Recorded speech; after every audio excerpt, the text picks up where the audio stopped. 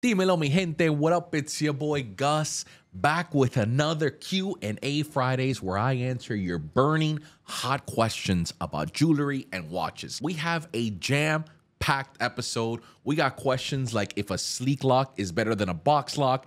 We also got questions if my bust down watch is a good investment or not. If you're in the market for a Cuban link chain or a custom piece or a custom timepiece as well, visit gusvillajewelry.com. Our telephone number is on there. You can call any one of the guys in the sales staff or me directly, and we're here to help you out. Without further ado, creep, hit me with that intro music.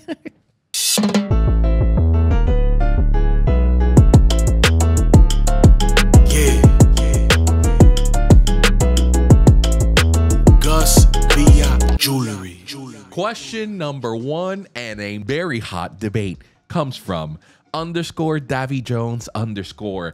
He wants to know what holds up the longest, the sleek lock or a box lock?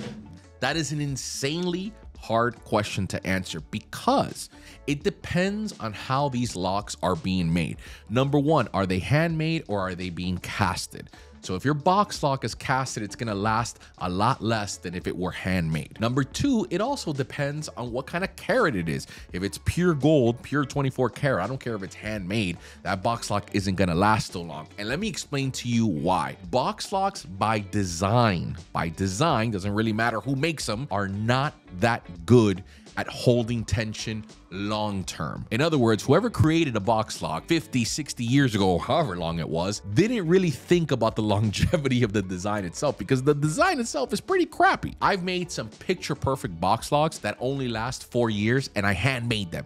It's the actual design that sucks. A lot of people always ask me, why don't you do handmade lock boxes on your silver? It doesn't matter even if I hand make them, it's still going to lose tension because silver is too soft. Now let's go to the sleek locks. Sleek locks, you can hand make them as well. But again, their tension depends on a piece that you flip over and tighten.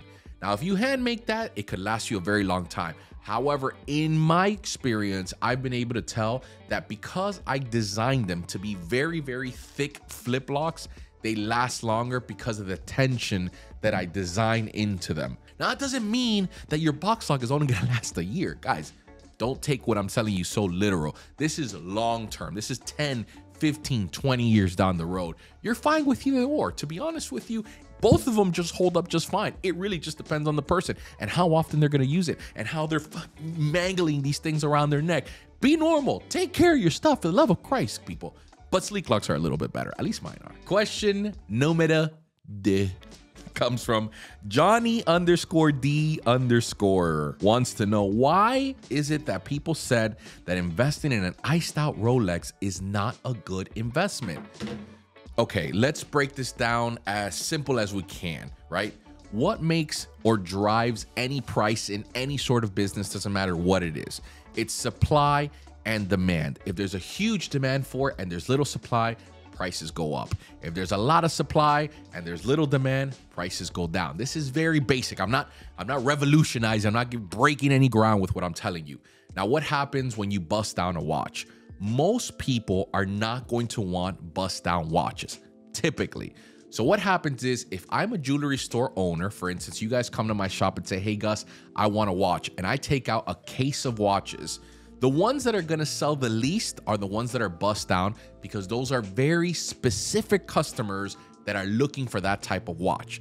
So the reason that it loses value is because there's not that many people demanding those type of watches. If a lot of people were constantly buying bust down watches, it would not be a bad investment. But because you have to wait for that customer to come to your store and specifically want that is the reason why people don't like to pay for it. And not to mention a lot of people like the fact that it's original. They don't want something that's modified. They don't like to put aftermarket bands or some sort of shitty diamonds that you found in the back alleyway. I know how I always talk about back alleyways as if all the jewelry world were like hustled in the back alley. Let me slang some Rolexes. When you break things down into the nitty gritty, it's supply and demand. A bust down watch is going to take a lot longer to sell than a regular plain Jane watch, and therefore it has a lot less value. That's just the reality of it. Question number three comes from S. Dotson 874 wants to know, can I clean my jewelry too much in an ultrasonic cleaner? I like the shine, but I don't want to hurt it. I feel like that's one of those memes where it's like, but does like they're like slashing the the the the, the fish in half, and they're like, does it hurt the fish? No, man, you can clean it as much as you want an ultrasonic. It's not going to do anything. It, it's not going to hurt the metal. Water vibrating is not going to hurt the chain. Or maybe it'll hurt its feelings. It's a good question. I don't want to shit on your question, but like, come on, it's not gonna hurt the piece. It's fine. It's water. It's vibrating water. You ever been in a jacuzzi and the water starts vibrating on your nuts? It's kind of like the same way. It's not gonna hurt it. It just feels good, you know? Next question. Question number four comes from Tarzan5. He wants to know what the hell is a Wimbledon dial? Uh, Wimbledon dial is a very, very in demand Datejust.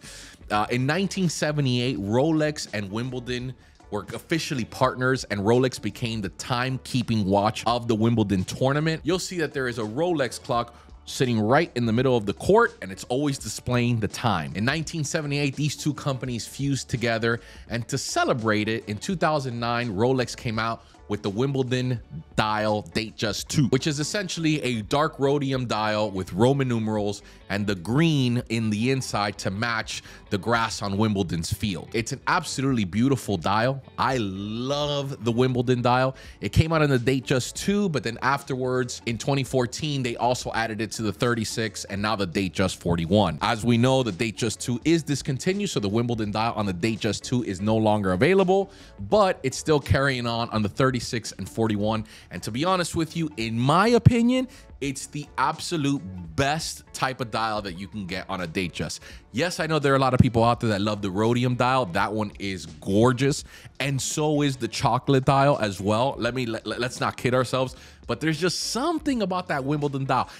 I like it so much, I could even have it on a smooth bezel Datejust. And there are very few dials that I like on a smooth bezel because I don't really like the smooth bezel. I'd rather have a fluted bezel. However, if it comes with a Wimbledon dial, sign me up because I love it.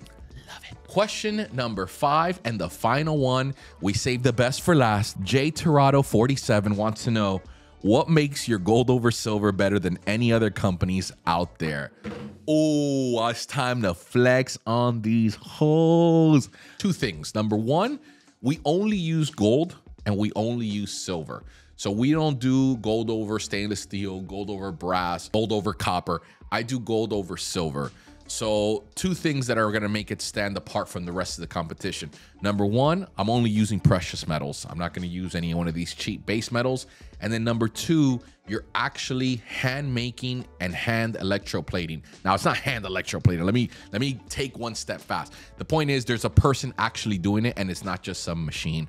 A lot of these electroplating that you see that go for a hundred bucks or whatever it is, they have very very little QC, and the plating on them is probably one or two microns or something like that. So in other words, after about two weeks, that plating is going to fall off.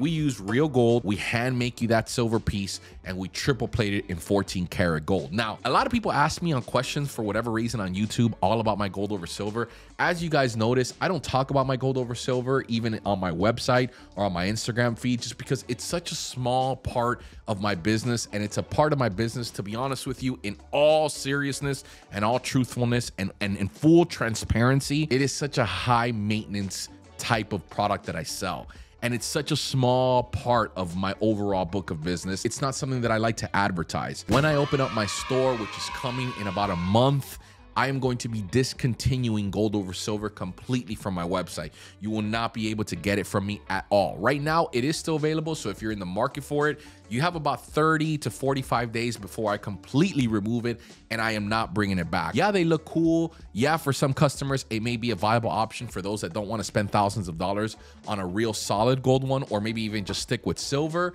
And for that, I understand. However, from a business standpoint, it really just doesn't make sense to continue on going with gold over silver. So if you're in the market for it, buy it now because after about 45 days, you will never see it again. If you guys have purchased gold over silver from me, though, I will still maintenance it to the day I die. However, if you want a new piece, it's just not going to be available anymore. Sad and somber news. Riot, right. I made my decision. I'm sticking with it. That about does it once again for another Q Q&A Fridays, the originators of the Q&A Fridays as always. If you guys have any questions, next week I am not putting up a post on Instagram. I'm going to ask the questions from people right here in these comments that I'm going to read and respond each and every one of them, but I'm going to be responding next week in the Q&A Fridays of next week. It's going to be called YouTube Q&A Fridays. That's such a crappy name. I'm not good with names, guys. I'm really not good with names. However, as always, if you're in the market for a Cuban link chain or a watch or any custom jewelry, visit GusVillaJewelry.com. Gus Villa Jewelry. I'll see you guys in the next video. 45 days, gold over silver, gone. See you later.